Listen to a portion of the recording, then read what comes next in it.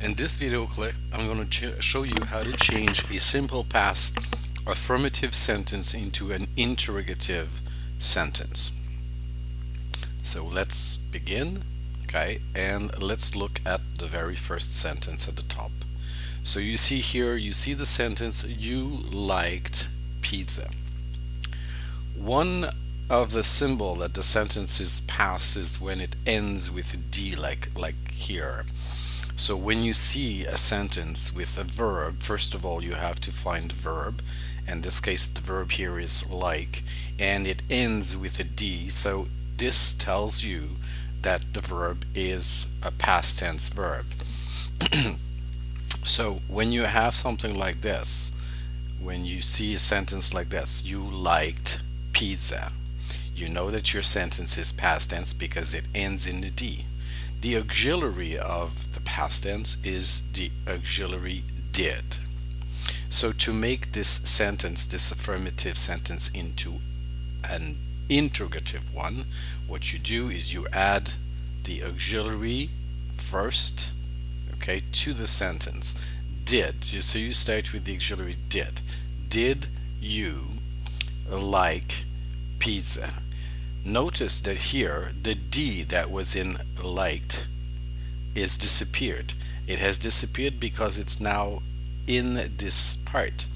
It's the auxiliary here. This this auxiliary marks the the verb tense here. So it, it shows, it indicates that the sentence is in the past. So we no longer need the D here.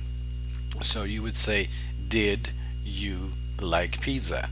And of course the answer is yes, I did, or no, I didn't. Did you like pizza? Yes, I did. No, I didn't.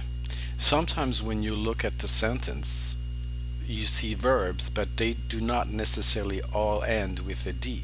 So some are called irregular verbs. That's the case here. So this verb here doesn't have a regular ending, meaning ending with a, letter D or ED. Because this one is irregular, okay, here, and you were able to recognize that this was an irregular verb, okay, then you think, okay, this is simple past. This verb, I, I can recognize it. It's simple past. The auxiliary of the simple past is did. So you put the, the auxiliary first before the affirmative structure here. Did he eat fish? Again, notice here that the verb has gone back to the base form. Okay, it is the base form. Ate is the simple past tense form of the verb eat. Eat here is the base form. So did he eat fish? Yes, he did, or no, he didn't. The answer is yes or no. Let's look at another sentence here. They had fruit. Here, by looking at the verb, I can see that the verb is in the simple past here. So the auxiliary of the simple past is the auxiliary did. Okay, so I'm going to put the auxiliary did here before what used to be the affirmative sentence, the, the, the affirmative sentence, yes. So did they have, and here I could even put here a question word in front of that structure to look for information. So the information would be here fruit. What did they have? And the answer would be fruit. So again, you see the structure here we begin with the auxiliary did and then you have the subject you he or they and after that we have the verb at the base form have eat like.